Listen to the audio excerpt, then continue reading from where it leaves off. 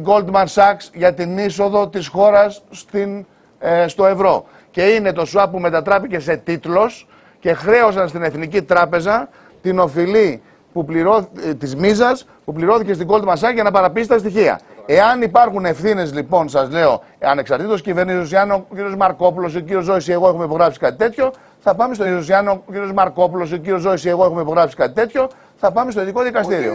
Ξεκάθαρα πράγματα. Παρακαλώ.